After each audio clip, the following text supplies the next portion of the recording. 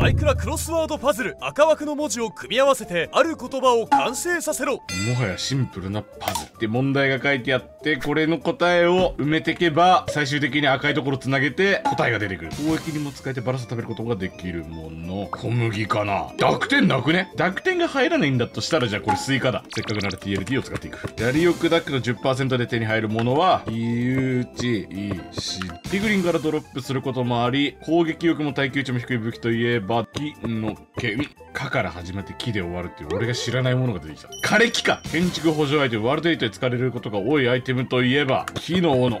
エンチャントテーブルを作るのに本とダイヤと何が必要。黒曜石。コスト棒が手に入り砂漠に生息しているさハサミを使わない手に入らないもの。瓦礫手に入るとアップグレードが達成するアイテム。石のつる橋。